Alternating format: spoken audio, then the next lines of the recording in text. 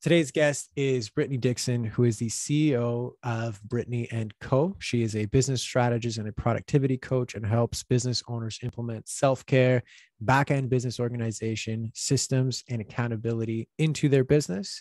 And she does this through offers uh, for group coaching and one-on-one consulting for online service providers. So, Brittany, thank you very much for being on. How are you doing today?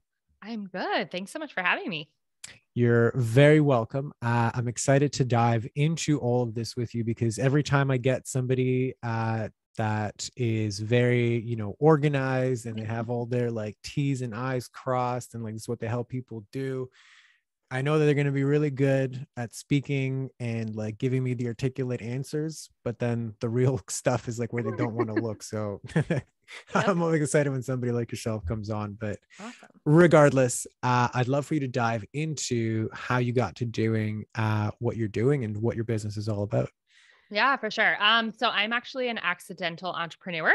Um, never in a million years did I think I was going to start a business. I have no business entrepreneurship in my family. I actually grew up in a really low income family. So um, I actually, when I dove in and got started in my career, I worked in hospitality and food service. And then I wanted to be a wedding planner because I thought that'd be really cool. Um, I was that weird 16 year old with like color coded binders and labels, and people thought I was always weird. So I was like, how can I transition this into a career? Um, so yeah, I started doing the wedding planning and then I actually worked for a corporate um, restaurant doing the marketing and event planning. And I was there for about four years. And in 2016, trying to think back to the timeline, I actually got let go. So about nine months prior to that, there was some shifting going on. And I was like, hey, I'm going to start a business. as a side hustle. Um, so I actually had started a home organizing company because I'm a mom of twins and I had a lot of twin mom friends who are like, I can't even function in like my house because it's so crazy chaotic. So I was like, I'm going to start a side hustle and I'm going to help you organize. So I ended up getting promoted. Nothing happened with that for about nine months. And then when I got let go, um, they actually, I was like, well, I have the side hustle. I guess let's start a business. So, kind of dove into that, had no clue what I was doing. Um, about six months into it, I decided to hire a business coach. And then she showed me this online space. And she's like, you could totally teach business owners like the productivity, the organization, that side of things, and have a bigger impact because you can reach clients worldwide instead of just in Columbus, Ohio. So, that kind of got me down the rabbit hole of the online business space. And then I started a podcast. I've got group coaching, I do consulting.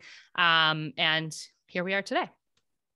That's uh, as far as accidental entrepreneurship stories go. Yeah. That's a pretty good one. like I, stumbled into, you know, my like zone of genius right off the bat. Yeah. And uh, it was, I, I organized events and then I organized houses. So it just made sense to organize businesses to have a bigger impact. And when somebody showed me that I could do that in the online space, I was like, all right, let's try this out.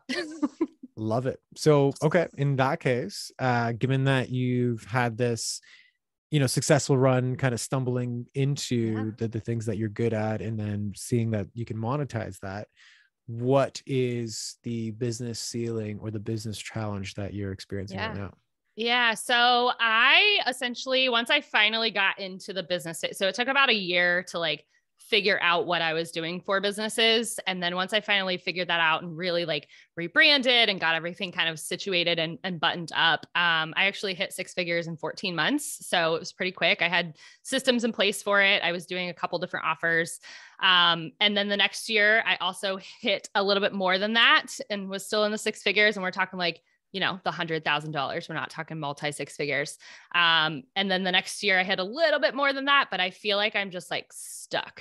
Like I can't get past this hundred and ten thousand dollar a year mark. Um, and I have all the systems. I've got the offers. I've got the proven methods. I've got things in place. Like I've got all the stuff and I just like something is just not working. Something is just not clicking. Um, and I've started to dive into, we were talking before the recording, some of the, you know, personal stuff and therapy and childhood traumas that are probably in the way, I'm sure.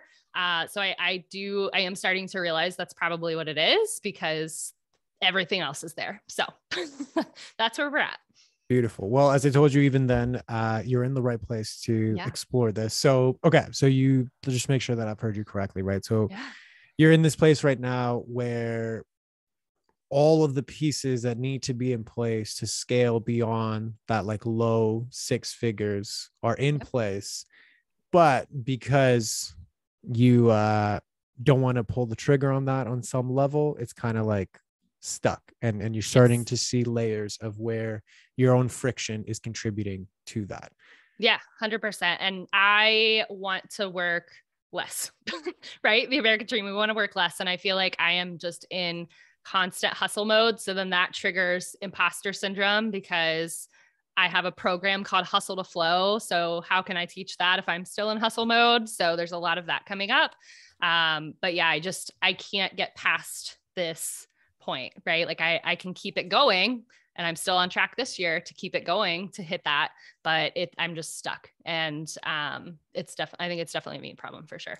Got it. So before we dive into those aspects, if yeah. we can just kind of zoom out and look at okay, so being stuck where you're at and not really working or experiencing the freedom level that you want to experience how is this impacting like your life in general yeah, for sure um, and I will say I have really good boundaries and time management being a systems person. So, like, I do take Fridays off almost every single week. So, I think I have time freedom, but at the cost of not having as much money freedom that I want.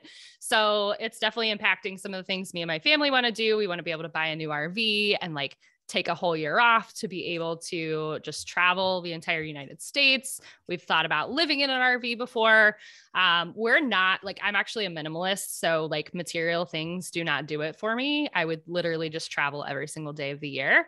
And I feel like kind of I have the job that will allow me to do that, right? If I can retire my husband and he can come along, but I just can't get it to a point that we would be able to do that comfortably. Got it. Okay. So basically it's like rippling into the, the, the relationships and the experiences they want to have with the people that are closest to me. For sure. For okay. sure. Yep. Cause there's Got just it. that financial stress of like, which thing should we do and can we afford vacations and things like that and the I, I like i said i grew up low income family like i want out of that so so bad right so missing that choice right yeah. like i right now the choices are still based off of what it is i can or cannot afford as opposed to i just want to have the choice to do what it is that i want to do yes. okay got yes, it for sure so one of the things that like i observe with you is like you're very self-aware right? Like it, it, this is not your first rodeo into diving into these types of topics. So you mentioned imposter syndrome one time already. Mm-hmm. Um, what are the things that you have identified in yourself that are kind of contributing to all of this? Um, yeah, so definitely, I mean, the imposter syndrome is huge. I think social media doesn't help with that, right? I see people that do what I do that are doing way better than I am. And I'm like, oh, I can't, I can't compare to that. So that's huge. Um, a lot of just money mindset blocks because I know my stuff is valuable, but I still get like super anxious when I'm selling um, or when somebody asks how much my program is. And I'm like, oh, it's $2,000 and it should be more, right? Like I know that it should be more, but I've also had struggles selling it at that price point. So I'm like, how am I going to sell it for more if I can't even sell it at this price point, right? Uh, so definitely some money mindset issues. Marketing has never been like I've never been a person that loves marketing. Um, so I think I've got a lot of blocks around that because uh, it's just like putting yourself out there, right? like I'm very good at putting out information and education and workflows and tips, but sharing the personal stuff and the failures, definitely not something I am great at hitting on emotions in my marketing, definitely not my jam. I'm like, here's the checklist and here's how you do it. Like, just go do it. And they're like, oh, cool. That doesn't sound fun. I'm like, all right. um, so yeah, my, I think my content definitely suffers. And then in turn, I'm sure has a ripple effect on not being able to have sales too. So Got it. So there's an aspect of authenticity, right? Like if I show up as the authentic Brittany, that doesn't really feel safe. But yes, if I have to show up as a smart Brittany, like I'm all in, we can yep. do the thing, right? Yes. Yep. Okay, got it. Um, you had mentioned being super anxious uh, when selling. Okay. Any mm-hmm. other emotions that pop up whenever like you're thinking about your business or, or selling in general? Yeah, um, I think I just don't want to come off as pushy and salesy. Um, and I don't know if that's because I've had that, like I've had that happen to me where they're like, "Hey, buy the thing," and I'm like, "Oh, that feels terrible." uh, so I don't, I just don't want to come off as pushy or salesy. The anxiety comes up, and then uh, the imposter syndrome every time too. It's like, "Oh, who am I to charge three thousand dollars?" Like that's I made that in like an entire month before when I was working. Like, how can I charge that for one package? Um, so I think it's definitely just again back to money mindset stuff that comes up too. Got it. And what are the day-to-day patterns that you see that result from all of this? Um, I avoid sales and marketing like the plague. I'm like, oh, I need to go sell and follow up with people. Cool. I'm going to go organize my Asana instead, and I'm going to create project plans, or I'm going to go watch Netflix. Uh, so definitely procrastinating on doing the sales piece or finding other things that are not revenue producing that sound like more fun. Okay. So finding other revenue things or non-revenue non-revenue yeah. right yep. yep. So if you were to just like eliminate the hemorrhaging from that one thing do you think that would increase your business? Hem- stop the hemorrhage from like not doing revenue producing activities? Right because you said okay like uh I, I it's like I, I know i need to do marketing and sales type things but they absolutely make me feel sick yeah. okay so I'm just going to go organize something that probably doesn't really need a lot of organizing or nope. like reorganizing and or watch Netflix. So uh-huh. like cumulatively, even if that was like a relatively low figure, like five hours a week, yep. if you were to just stop the hemorrhaging of that five hours per week and reallocate it towards revenue producing things, do you think that would have an impact on your bottom line? Oh, definitely. Yeah. Yep. Okay. And if you had to put a number on it, what do you think it might be? And it could be a range, doesn't you don't have to yeah. give me like specifics. Um I mean, honestly, like, so one sale of my program is 2000. One sale of my VIP days is at least three to 5,000, depending on what it is. So even one person, anywhere from two to $5,000. Right. And that's potentially per week, right? Like if we say that yeah. was like per week, I don't hemorrhage on all these useless activities. That could be at a minimum $2,000 a week, which is 8,000 a month. Yes. Which is basically your next 100K. Right. so, um, the reason that I'm asking these questions is just to kind of get the lay of the land and the severity yeah. of what's up front. So, how does like what what comes out for you when I share that? I know what I need to do. I've got all the systems for it. I've got tasks that tell me to do it. I've got a CRM that gives me all the people. Um, I don't know. It's just doing it and not feeling the anxiety around it.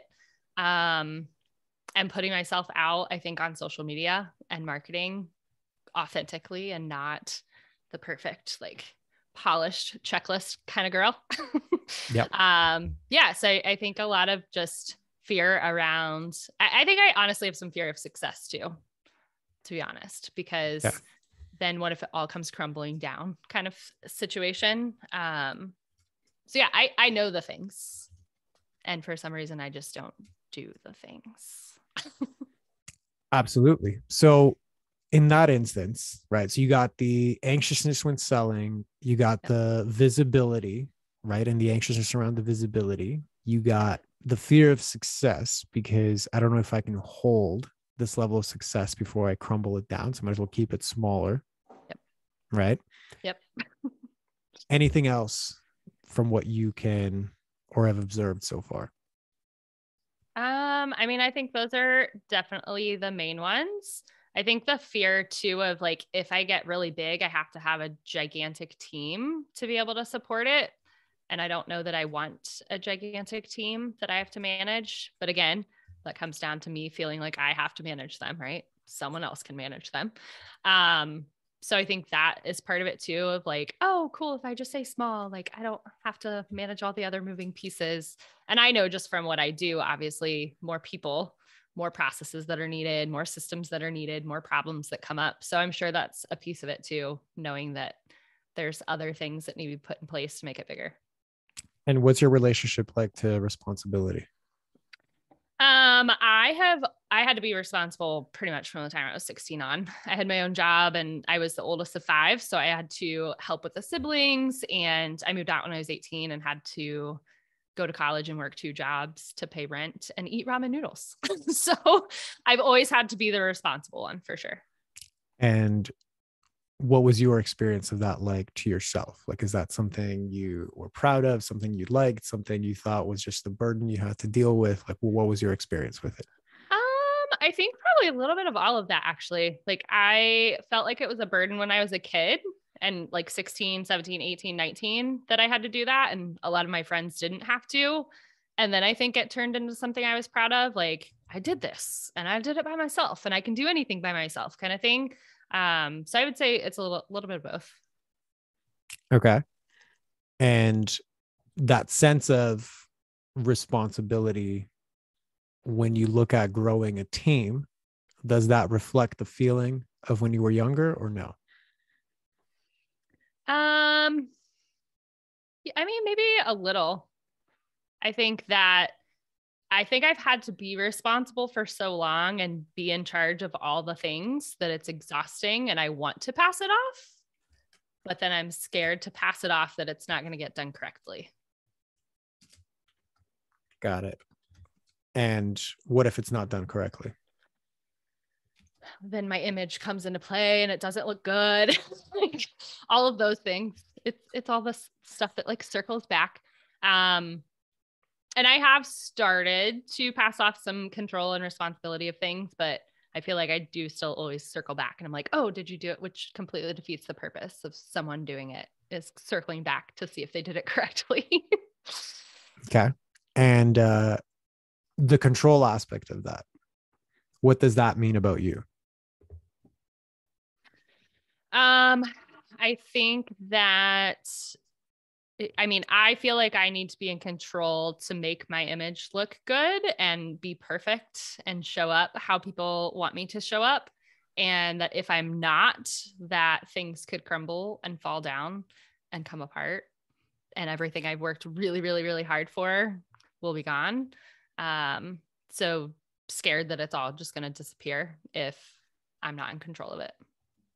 Right. So basically, the responsibility is on you as the eldest to make sure that everything and everything stays together otherwise you are the bad one.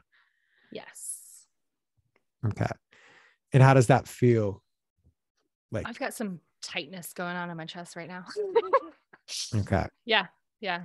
So if you tune into that tightness like what's the actual feeling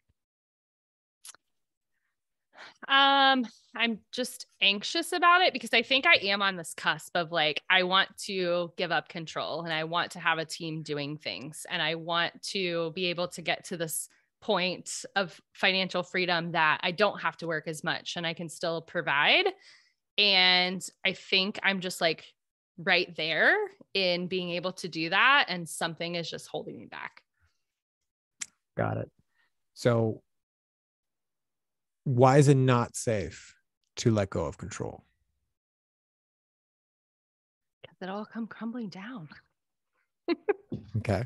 Because I've had to hold it together. And it's it's like that too, even just like our household, right? Like my husband does a ton of stuff, but like from a financial aspect, I'm the one in charge of that and making sure bills get paid and making sure doctor's appointments, like all, a lot of that responsibility is on me too. So I feel like I've got these two containers, business life on top of me and I'm in charge of all of it. And if I let one of them crumble, the other one's going to crumble too. Um, so I feel like I've just always had to be the one holding it together. So I just don't see another way of someone else being able to do that. Got it. So the belief is very much I have to hold it together. Yes. Okay. If I don't hold it together, then fill in the blank. I don't I don't know because I've always had to be the one to hold together together. So I think there's just this complete unknown of like I don't know what that feels like and looks like. It's completely like this black hole that I have no idea what what exists if that's how it was to be. Okay. And what's so scary about that black hole? It's completely new.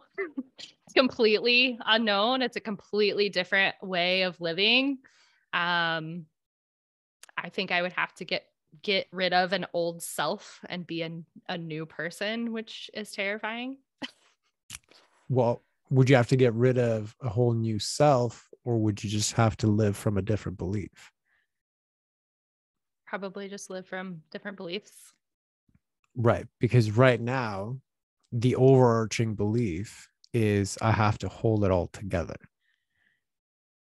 to the degree that the world does not exist and it is a black hole with the deepest of abysses that if I don't hold it all together, it like doesn't just like get inconvenienced.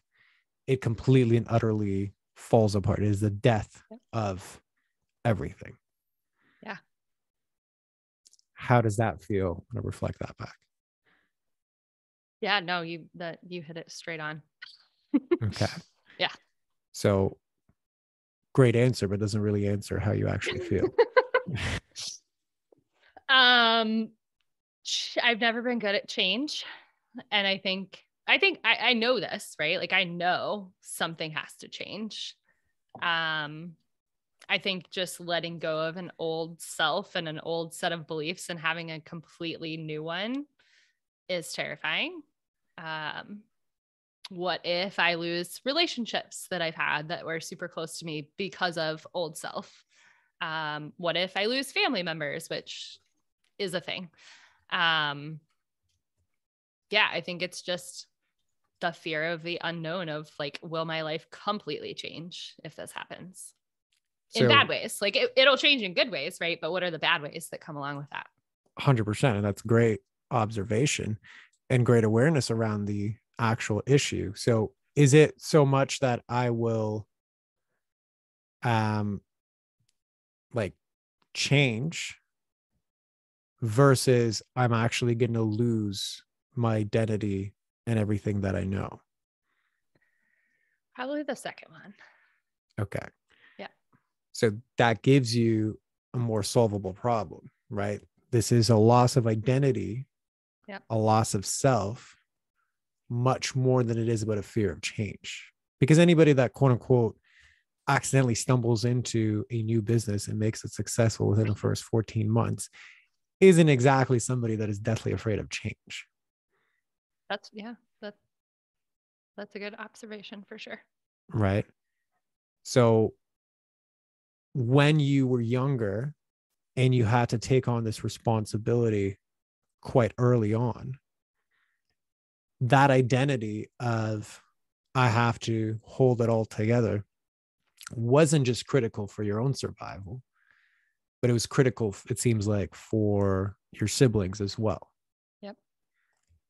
So, in this instance, do you see how the same pattern is now playing out in your business? 100%. Got Yep. So, same question again, then what's coming up for you internally? I just I felt a sense of calm. I think even just you saying loss of identity versus scared of change. Okay. That's interesting. So tell me more about that.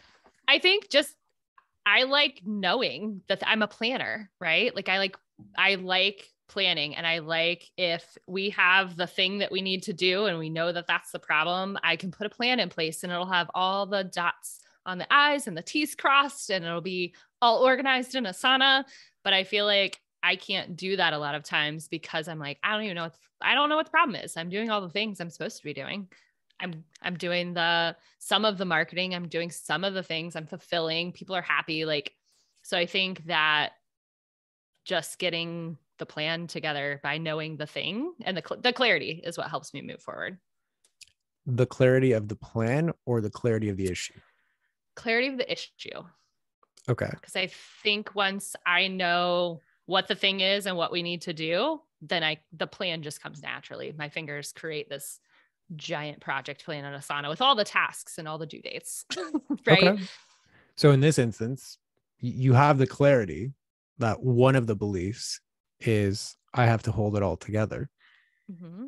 So, what's the plan now to overcome that? Well, so when I was saying that, I was meaning more on the business side, creating those plans. These ones are a little harder for me. Um, but one of those action items I feel like would be is to like, what thing can I do to, I guess, like reverse that belief? Like, what are the action steps I need to do? Do I, I don't know, meditate, mantras, visualization? Like, what does that look like? Um, and kind of diving into that. So I guess I don't have a really great plan for this. and how does that make you feel? Uh, very anxious. Actually, I just got really sweaty. Um, I'm like, I don't know what to say now. So, uh, yeah, yeah, that's where we're at. Perfect. So, first of all, it was a great observation. Uh, number two, right? As soon as you're prompted to go into the messiness, in yep. this instance, emotions, uh-huh. because uh-huh. they don't fit the mold, they don't fit the checklist, they don't fit the plan, what happens to your body? You have a very physiological yeah. panic trauma type reaction. 100%. Because if you can't be in control, if you can't hold it all together, that means a complete death of not just your core identity, but also as the provider for these other people in your life. Right? There's a lot of somatic energy associated with that belief. Yes. Okay. So what's coming up for you when I share that? Um I feel a little bit better, but still I think just anxiety and like I feel tense. Still just like thinking what is the next step? What is the action? Because I am an action taker, but again, not having that clarity of knowing what that action is, I think just makes me super anxious. Yep. And understandable given like you have a very rigid quality about you. Right? There's like a like a rigid personality type um, that you embody more or less to a T. And the biggest issue issue in, in, in air quotes because there's a lot of gifts to this uh, personality type as well is the onus on the process is always higher than the onus on self-trust. In your instance they're very intimately related but it's like i trust myself to the extent that i trust the plan and the process i have around it. As soon as that disappears and I am left in the void of uncertainty and the mess, that's where I begin to crumble and yes. completely like, how do I trust myself in something that I can't checklist my way out of? Yes. right. Welcome to the wonderful world of emotions. All right. And I know I'm making jokes with it. It's just to kind of like allow you to, yeah. to relieve some of that yep. um, tension. But what comes up for you when I share that? Yeah, I'm, I think you hit the nail on the head. Um, I don't know that anything's really coming up other than it makes sense. Perfect. Um, the other part that I wanted to touch on as well is in the visibility bit, right? Because what's asking and what wants to merge out of your business is, well, I have to show up authentically and as me. And if I show up authentically and as me, then if there are comments, then they are towards the messiness of me. They're not to the checklist, which I know I got down pat. So, how does that like land for you? Yeah, no, I mean, and I think that, and I've shared a lot of my personal life on social media and I have shared some stuff, but I think there's still just this barrier that I'm like, they can see a little tiny bit of it, but not all of this. Like they can't see all of this. Um, so I think that's it's definitely been a huge barrier because I think that's why a lot of people just don't connect. They're like, oh, she's too perfect. So I'm not going to follow her system because I don't have my stuff together like she does. And I've actually had some of my students say that. Like, I'll share more with my students than I'll share with social media. So, like, in our, you know, safe container of our group coaching. Um, I definitely share more with them than I do on the outside world. And like, I'll share some messy stuff and they're like, oh my gosh, you're not perfect. What? This is amazing. so again, yep. my brain knows that I need to do this and that that's how people connect. And it's just this like, mm, but I'm going to stay in my safe little bubble. It's fine. so if you were to go live right now and share the messiness of this conversation, what would that feel like? Um, very uncomfortable. um, yeah, I would have anxiety on what to say and what to talk about and how to do it. And it's not in an outline. So just off the cuff. And they're going to think that I'm crazy. I don't know. A lot of anxiety comes up. What if you did do it, do it right now? I mean, we technically are, right? I mean, it's not live, live. Someone's going to hear it. I mean, like, because you're on your computer. If yeah. you were to take your phone and do a live right now and just share the messiness of the moment, would you be open to doing that? Oh, that sounds real uncomfortable. yeah. I mean, it wasn't meant to be a, a fun invitation. Yes. Yeah. Yeah. And you're welcome to say no. I'm, I'm just, I'm throwing it out there as, uh, you know, because you said you did this whole thing to be uncomfortable for 31 days. I so did, yeah. Can that be if, my can that be my day number seven tomorrow to go live and share about it? Uh, I'm not going to force you, obviously, to do this right now. But if you're willing to do it tomorrow, why not just do it right now for a minute? Oh, man. All right. You're, All right. You're, make, you're making me do this here. All right, let's let's. I told you you're gonna get which... the most out of this experience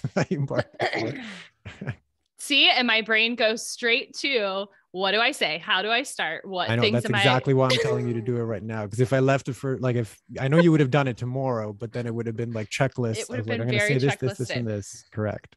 But like, what do I do? I just go on there? At, at Correct. Yeah, you is, just press go. Just press go, go live, on live. Okay. And you shared the messiness of this moment. I'm not going to tell you what you need to say. You just share whatever it is that comes to mind. Oh gosh. All right. Oh my gosh, my heart is pounding right now. I I believe you and I acknowledge. And I go live. I go live. I go live. I do this, but they're very they're very planned and meticulous. Okay, so I just go on there and tell them that I'm doing this. And just press go and go. Okay. Oh, why is this so difficult? All right, it's going. Oh no, now it's it's checking connection. Hello, everyone. Happy Wednesday. Hopefully, you're having an awesome day. Um, so I'm doing something really, really, really uncomfortable right now. It actually took me, I don't know, like 30 seconds to hit go live on here. Um, I am on a coaching call d- diving into um, emotional blocks and trauma things and uh, why I can't hit the next revenue block or revenue milestone in my business. And um, I'm sweating right now. So there's that. And uh, yeah, that's where we're at. All the uncomfortable things. So follow along if you want to see more. Oh, and we're still, yeah, we're still live. There we go. We're going to hit end now. Okay. Shared. Okay. It's shared. It's there. Oh my gosh. That was, I'm sweating. well, first and, and foremost, congratulations. It is now out on the internet. So there's that. well, okay. So first and foremost, congratulations. I want to acknowledge you. you. for uh, doing a deep dive into this experience. Um, yep you're actually the second person I made to do this when All the right. visibility issue right. popped up. So uh, just know that you're in good company. Awesome. Um, so allow yourself to just, you know, exhale, breathe. Yep. it is over. Uh, what's the feeling internally having done that? Um, that I want to go delete it right this second. okay, perfect. Uh, yeah, yeah. Why? Um, because it was unscripted, not planned, and very messy. Okay. And what does that mean about you? That someone's going to judge me and be like, why the heck did she just put that out on the internet? And why should I follow her? And why should I trust her to grow my business? Perfect. And in this moment right now, who's doing the judging? Me. right. Because nobody else here. Yeah. And I've been applauding you the whole time. So there's that leaves only one person to judge right? So that judgment of this is messy i shouldn't trust this person to to you know coach me to do these things. That's part of the judgment and the narrative that lives inside you. Yep. that's the lens through which you're going to make a lot of future visibility decisions that are getting in the way of you actually expanding that so Yep. the question to you then is what would you have to believe about yourself to judge yourself in that way um, that I am very capable of doing this and I'm very capable of helping people grow their business and that I can do it messy and still be really good at what I do and it's not going to affect my work. Um, that I, yeah, I mean, I think really just trusting myself that I'm on this path for a reason and I'm really good at what I do uh, and I can help so many people if I just get out of my own way. And that's a beautiful reframe and a better story to tell. The original question was what would you have to believe to judge yourself and to tell yourself the things that you said at the beginning, which was who am I to actually teach this business when I'm showing up in such a messy way? Yeah. So can you repeat the question then? Right. So if your default is to judge yourself, Mm-hmm. what would you have to believe as the default belief to produce that judgment about yourself? That uh, I don't know if I'm understanding correctly.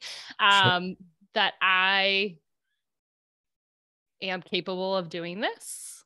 Okay. So let me rephrase it then. Okay. If right now the narrative is Yes. I can't show up in a messy way because that shows incompetence in me. So people will witness that as I can't help them grow their business. What do you have to believe about yourself to judge yourself in that way? Does that make sense or do you want to rephrase it a different way? I think so. I think I'm trying to do like the opposite of what you're saying. So, like you saying that, I would have said that I need to believe that I am able to show up messy and still be capable of what I Correct. do. That's the reframe. Okay. I'm saying what's the present reality? Like the one that like it was just two of us here. You never checked any comments if there even were any. And I was celebrating you the whole time. But your brain went to like full on judgment. I can't believe you did this. You should be ashamed of yourself. How could you show up in that messy way? Right. So my question to you is what do you have to believe about yourself to instigate that level of self-talk? That I'm not worthy Okay. Of what? success. And why is that? Um, I think it comes down to like me growing up poor and seeing that, and then like, who am I to make money growing up like that? Who am I to get out of that to um, leave my family behind by being successful and getting the things that I want? And why am I worth that? Right. Because if I leave my family behind with success, now I have to project that I'm quote unquote better than them. And I heard that a, I heard that a lot when I was growing up. Yeah. So not only am I then kicked out of this tribe, but then I also have to get into spaces where it's like, I'm not the one who actually needs to be responsible for everyone and everything anymore. Right. Because I'm actually making a lot of money and other people are doing it for me. It feels uncomfortable to actually just let that go and receive. Yes. Right. So now you're getting into the layers that are basically enmeshing one over the other. Yep. Okay. And what comes up for you when I share that? What's the plan? What are my checklist items to fix it? yeah. That's the first thing that comes up. Right. What's the actual feeling? Um I think I think there's relief like knowing that if you dig back far enough in the layers that it can be fixed and that I can have this successful business and still have all the things that I want my family. Um, so I think I do feel some relief of like, you can dig all the layers back to create the plan and action items to fix things. We just have to do some digging. Correct. So, yeah, I mean, just to answer your question a bit more directly, the first part is always removing the limiting self. Right. So, right now, we're kind of creating a tally of all of the limiting narratives, limiting emotions, and limiting patterns. Right. So, basically, how I think, feel, and act to get the ceiling that I'm getting right now. There's a lot of stories for you. The emotions you tend to avoid right like you're you you're safer in your head than you are in your body and emotions so you tend to bypass those which is why i asked uh-huh. you multiple times multiple different instances well what are you actually feeling that's a great answer but what are you actually feeling yep. right um, and then the actions that result from it like for example you identified one pattern which is you know i spend a lot of time avoiding revenue producing things which the simplest one could literally give me 100k this year extra yep. right so, number one is removing that limiting self. The number two is really building your up leveled self. So, how do I now go and given the removal and the clean slate that that gives me, how do I now begin to rebuild myself and my new identity? What are the new thoughts, feelings, and actions that I need to do consistently? how do I self regulate when I get uncomfortable in my bigness? How do I do more courageous actions that are directly aligned to creating a new internal identity, a new paradigm, much like the live exercise you just did, right? Because you did that exercise with an external force, in this instance, myself, prompting you to do it.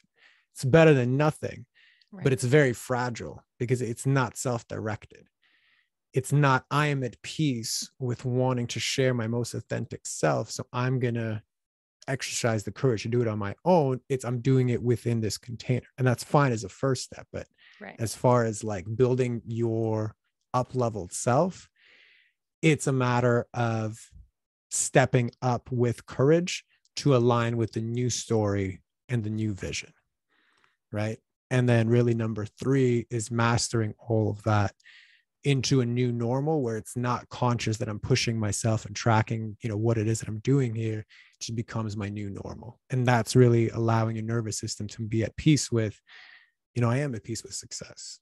I, I logically understand nobody's going to ostracize me. And if they do, that's fine. I want to feel that in my body as like neutral or potentially even excited. So. I know that was kind of a lot thrown your way, but does all of that make yeah, sense? Yeah, no, that makes total sense. Perfect. And does anything come up for you when I share those pieces? Well, you put it in a one, two, three checklist. So that's true. Actually, I did. You're right. You did. You did. So I think it helped my brain be like, okay, cool. These are the next steps. Do it. Absolutely. Perfect. Yeah. So in that case, like, does this feel complete for you or is it still something left outstanding? No, I think that feels good. Um, I mean, obviously there's more onion layers to peel, lots of them, but um, definitely some really good insights for sure. Beautiful. So, in that case, why don't you just let everybody know in your own words, like what did you come into this conversation with, um, you know, anticipating or thinking was your business challenge or business ceiling, and then what were your takeaways and aha moments as a result of the conversation? Yeah. So I came in thinking that my marketing, that I just need to do more marketing and give me some tips for how to do better marketing. And came away with, um, yeah, we're to peel back some onion layers. we're to, we're to have to do the deep work and then it'll translate into the marketing easier without having to force it. Beautiful. Well, in that case, uh, if you can just close this off, let everybody know who's the best person to find you? Where can they find you? Floor is yours for that. Yeah, for sure. Um, so I work with online service providers, typically people that are getting ready to bring on a virtual assistant or a team member who really need to get some systems in place in order to pass off and delegate work. Um, you can go to our, our website, which is bcohq.co, and we do one on one consulting. And then we have a hustle to flow group coaching program if you're looking for that. So, all the options. Beautiful. Well, we'll include all of those in the show notes as always. Awesome. Uh, Brittany, thank you very much for coming on, being Absolutely. vulnerable and courageous, uh, both at the same time. Thank you so much for having me. You're very welcome. And uh, for everybody else listening, we'll see you on the next one.